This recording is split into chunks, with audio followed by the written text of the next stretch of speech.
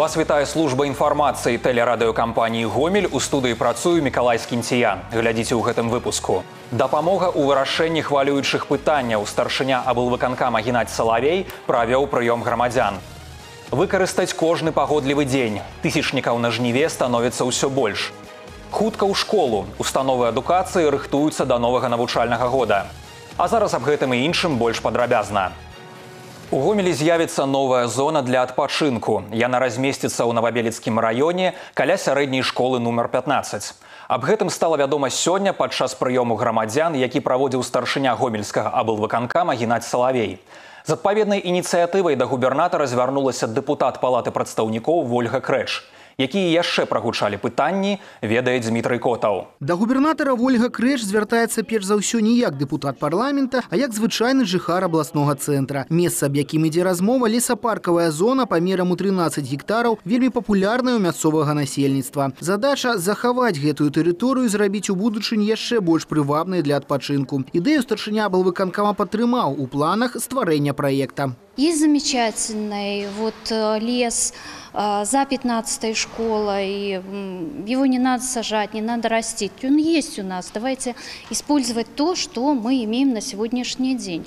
Вот поэтому как бы такая, я вижу, э, идея родилась, потому что я вижу, что очень много людей туда приходит э, с детьми, с колясками. Для этого должны быть какие-то дорожки, какие-то скамеечки, э, то есть площадки для занятия спортом. Тамара Болсун з пасёлка бальшавік прыходзіць з калектыўнай просьбай, якая тычыцца усталявання дыферэнцаваных тарыфаў на электраэнергію. Калісьці ў шматкватэрным жылым доме стаялі газавыя катлы для падагрэву вады. Аднак у некаторых кватэрах яны былі заменены на электрабойлеры за дрэннай працы. У сувязі з гэтым узнікла праблема па аплаце электраэнергіі. Вырашаць пытанне Геннадзь Салавей пачынае непасрэдна падчас прыёму.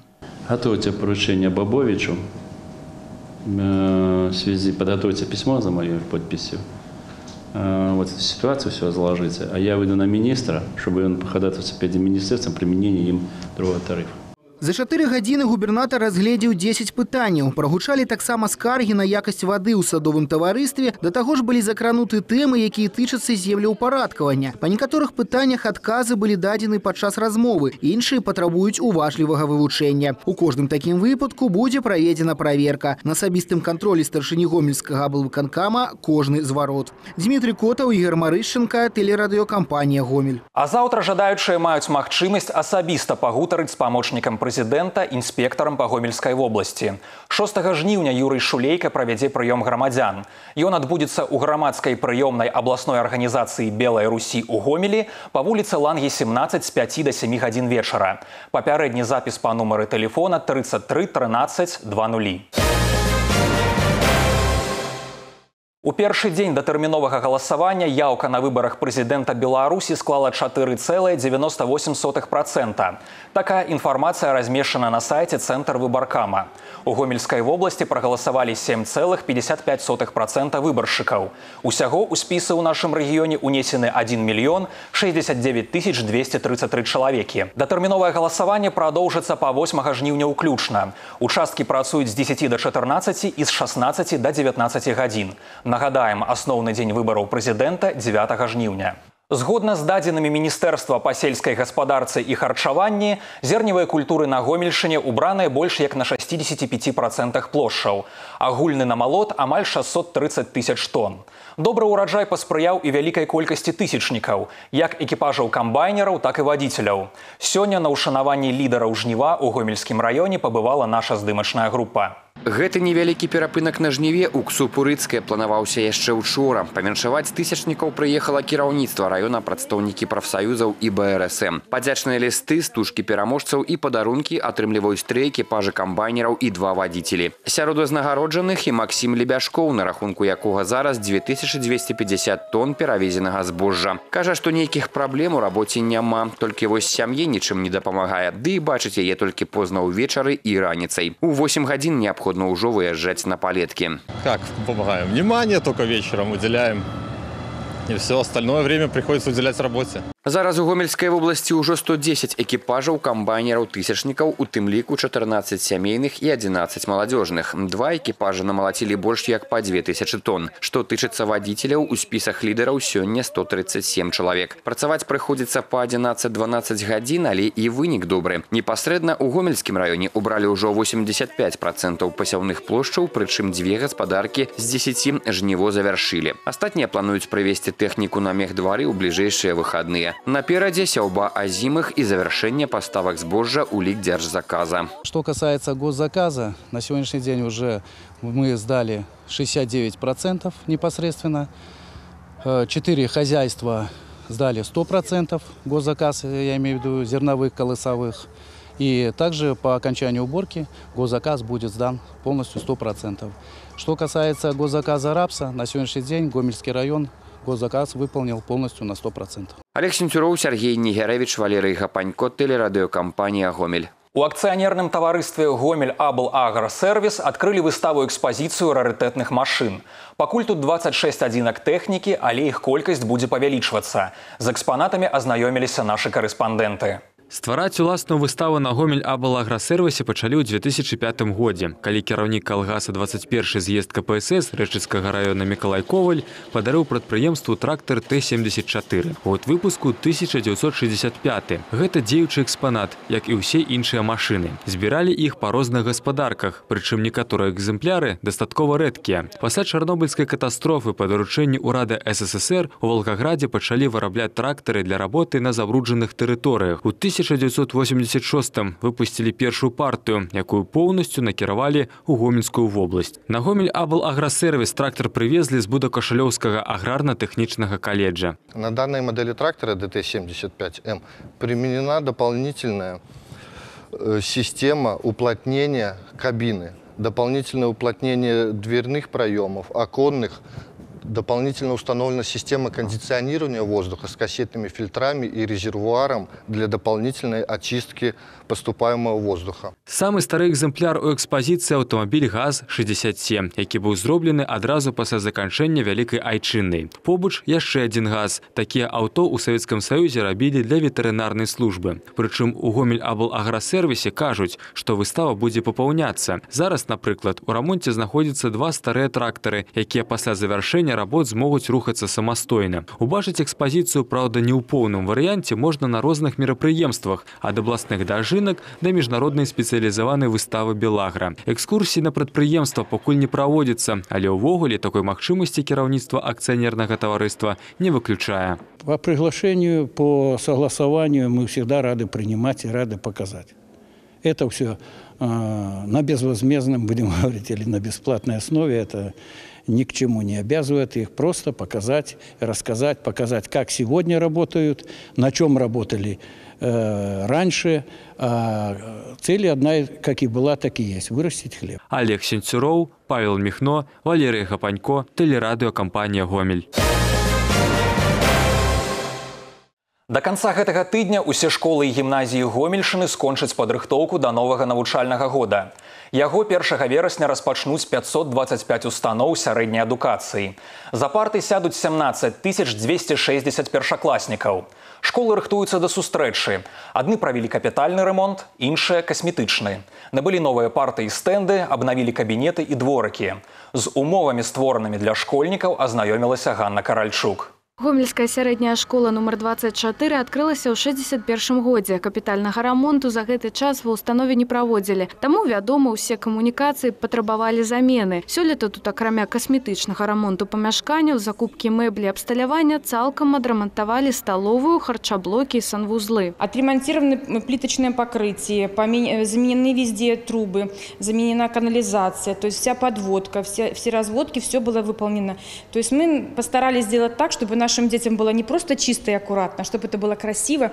И каждый из наших э, школьников, заходя в наш э, обеденный зал, говорил «Вау!». У класах есть все необходимое для занятков. Ростовые парты, конторки, шафы для рэчаў вучняў, мониторы и проекторы. При этом все повинно отповедать строгим санитарным и медицинским нормам, каб процесс навучання не шкодзіў здоровью хлопчыкаў і дзяўчынак. Дарэчы, менавіта ў гэтай установе рыхтуюць будучых зорак беларускага спорту. У школе працуюць 11 спецыялізаваных класаў класаў. Кожны іх вучань як мінімум кандыдат у майстры спорту. Значныя змены чакаюць і навучэнцаў сярэдняй школы нумар 4 ў Новабелецкім раёне Гомеля. З самага ўваходу адрамантаваны хол першага паверха, дзе вучацца пачатковыя класы. І гэта толькі невялікая частка таго, што было зроблена. В восьми учебных кабинетах мы заменили мебель и жалюзи. Отремонтировали частично крышу, потолок третьего этажа. На третьем этаже заменили двери в учебных кабинетах. Приобрели учебную мебель, учебное э, оборудование, спортивное оборудование. Отремонтировали также асфальт на стадионе, на улице. Асабліва будуць радавацца аматары фізкультуры. Для іх адрамантавалі спартыўную залу і закупілі шмат новага абсталявання, лыжы і сталы для настольнага тэніса. Варта сказаць, што гэтая установа таксама паважанага ўзросту. У школе практычна 85 гадоў, а самому будынку 57. Абодва дырэктары адзначаюць, што ў падрыхтоўцы да новага навучальнага сезона прымала ўдзел шмат людзей. Акрамя бюджэтных сродкаў прыцягвалася спонсарская дапамога. Акрамя таго, самі калектывы школы гімназія, таксама іх вучні займаліся афармленнем холаў кабінетаў. Выкладчыкі гавораць, што так дзеці больш беражліва ставяцца да таго, што зрабілі сваімі рукамі. Ганна Каральчук і Гармарышчынка, тэлерадыёкампанія Гомель. Каб пераадолець жыццёвыя цяжкасці патрабуецца не толькі вера ў сябе, але і падтрымка блізкіх. Асабліва гэта актуальна для тых, хто штодня змагаецца з сур'ёзнымі захворваннямі. Гомельскія медыкі правялі дабрачынную акцыю для маленькіх пацыентаў гематалагічнага аддзялення РНПЦ. У такі няпросты момант жыцця для дзяцей важны кожны светлы прамень добра. Ім стаў сюрпрыз арганізаваны сумеснымі намаганнямі абкама прафсаюза работнікаў аховы здароўя і гомельскай станцыі хуткай дапамогі. Для пацыентаў аддзялення падрыхтавалі забаўляльную праграму, падчас якой прагучалі песні пад гітару. Супрацоўнік станцыі хуткай дапамогі Александр Хвясюк прадэманстраваў сілавыя трукі.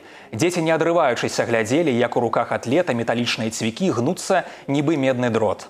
Напрыканцы сустрэчы юныя гледачы атрымалі салодкія падарункі. Это отделение одно из самых, я бы сказал, серьезных отделений. Лечи, дети лечатся с серьезными, серьезной патологией, патологией крови. И всегда нужно таким маленьким пациентам дать лишнюю, запасную, необходимую порцию радости и позитива. Хочется, чтобы все дети занимались спортом, были здоровые, сильные, чтобы дало толчок, чтобы дети поняли, как бы, ну, осознали что-то ну, и шли вперед, несмотря ни на что. Гомельскі гарадскі маладзёжны тэатр закрывае 28 тэатральны сезон прэм'ерай. Спектакль дзядзька Ваня па п'есе Антона Чэхава можна ўбачыць на сцэне 6 і 7 жніўня. Прекрасно! Прекрасно! Чудесные виды! Замечательное ваше превосходительство! Мы завтра поедем в лесничество. Хочешь, папа? Господа! Чай пить! Лёс герояў Чэхава гэта лёс цэлага пакалення, якое зарабіла гібенне сваёй зонай камфорту. П'еса напісана больш за 100 гадоў таму, але востра гучыць і ў нашы дні. Ці можа чалавек змяніць жыццё сям'і, калі яна гэтага не хоча. Сцэны паказваюць спрэчку паміж старым і новым, у якой людзі не чуюць адзін аднаго. У выніку супрацьстаяння адновіцца звыклы ўклад, але падзеі пакідаюць на ўсім адбітак трагічнасці. І людзі назаўсёды губляюць надзею на лепшае існаванне. Рэжысёр Віталь Краўчынка называе сцэны трагікамічнымі і пазачасавымі. Я прыязджаю, напрыклад, на вёску. Я бачу, як э, людзі жывуць зусім ну, можа не зусім, але ў бальшыні выпадкаў жывуць э, нейкімі іншымі каштоўнасцямі. Не заўсёды жадаючы прымаць нешта новае што дае нам час што даюць нам людзі якія заязджаюць на тую ж самую вёску і прапануюць нейкія э, нешта сваё новае. А людзі так не не не не не нам тут добра вось у нас бульбачка гурочак і нам нам добра і гэта з аднаго боку у ну гэта жыццё а з іншага боку гэта і нек ступені страшнавата спектакль працягвае размову на тэмы выбару і адказнасці перад сабой які пачынаў рэжысёр у папярэдніх трох пастаноўках на сцэне маладзёжнага тэатра. Як супрацьстаяць фэйкам? Дзе чыстай вады піяр а дзе рэальныя справы? Як выглядаюць паліттэхналогіі 21 стагоддзя і як разабрацца ў хітрасплятеннях глобальных сусветных працэсаў. Сёння ў эфіры тэлеканала Беларусь 4 гомель глядзіце праграму з цыкла зразумелая палітыка вытворчасці агенства тэленавін колер настрою. Журналісты белтэлерадыёкампаній прасачылі паралелі ў падзеях розных краін на розных этапах, каб зразумець, калі рэвалюцыя распальваецца, значыць гэта камусьці трэба. Глядзіце зразумелую палітыку сёння ў 2025 на Беларусь 4 гомель. Гэтыя, а таксама іншыя навіны, інфармацыю аб праектах тэлерадыёкампаніі Гомель вы можете знайсці на нашым сайце ў інтэрнэце па адрасе www.tvrгомель.by. На гэтым выпуск завершаны, усяго добрага і да сустрэчы ў эфіры. Эфир телеканала «Беларусь-4» продолжает де-факто. В студии Руслан Габрилев. Здравствуйте. Житель Мозыря, занимавшийся раскопками в местах ведения боевых действий, более 15 лет хранил в гараже целый арсенал времен Великой Отечественной войны. Проведенная баллистическая экспертиза показала, что изъятый пистолет-пулемет пригоден для производства выстрелов. В ходе санкционированной районной прокуратуры и осмотра недвижимости Мазырянина в гараже была обнаружена коробка. В ней находились газовый пистолет, револьвер, две гранаты F1 без запалов, пистолет-пулемет МП-38 немецкого производства и различные патроны. Мужчина пояснил, что нашел оружие во время раскопок много лет назад. Очистил от ржавчины, доработал элементы конструкции и хранил для себя как реликвию. По результатам проведенной экспертизы пистолет-пулемет был признан ручным стрелковым нарезным огнестрельным оружием, пригодным для производства выстрелов. За 19 лет моей практики это первый образец такой модели, пришедший на экспертизу в таком хорошем состоянии. Следователями будет дана правовая оценка действиям мужчины.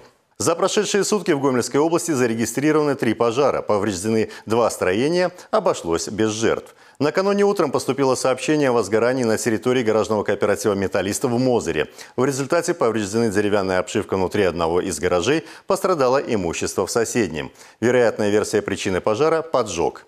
Предварительно по этой же причине около половины восьмого вечера произошло возгорание хозяйственной кирпичной постройки на территории одного из частных предприятий в Чечерске. В результате повреждена кровля. И примерно в это же время зарегистрирован пожар жилого кирпичного дома в деревне Ямная Рогачевского района. Повреждены кровля и потолочное перекрытие дома. Два ДТП зарегистрированы в Калинковичском и Петриковском районах. Водитель 1997 года рождения на автомобиле Mercedes-Benz Sprinter, двигаясь по автодороге Глинная Слобода станция Нахов, не справилась с управлением и, съехав на обочину, машина опрокинулась. Водитель и пассажир 1996 года рождения с травмами доставлены в больницу. По этой же причине на автодороге М10 в Петриковском районе 30-летний водитель опрокинулся на автомобиле «Сиат». Травму получила женщина-пассажир 1969 года рождения. Однако после оказания медицинской помощи ее отпустили домой.